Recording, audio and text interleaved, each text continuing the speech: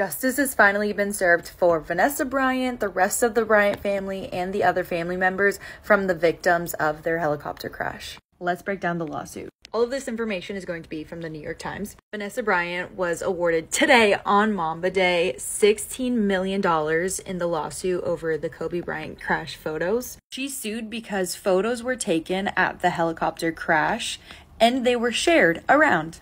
Chris Chester is another plaintiff who was awarded 15 million. His wife and daughter were victims of the helicopter crash as well. In Vanessa's lawsuit, she claimed Los Angeles County firefighters and sheriff deputies were allowed to take unnecessary close up photos of human remains around the site, including the bodies of Kobe and Gianna Bryant. One deputy in particular apparently showed photos to a bartender and other people who filed a complaint with the sheriff's department, and this was how Vanessa felt about that and a fire department official showed some of the photos at a gala.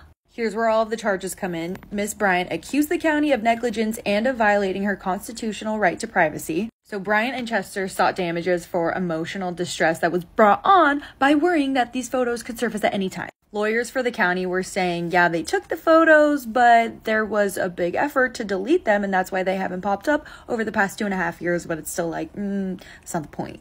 Originally, the plaintiffs asked for around 75 million, but we now know that Vanessa Bryant was awarded 60 million and the Chester family was awarded 15. The lawyers for the county did try to do their job. They said the case was about photographs that almost no one had seen. This is a photographs case, but there are no photographs. Jury said, nope, y'all should train your employees to do better and not violate people's privacy. It only took the jury five hours to come to a conclusion.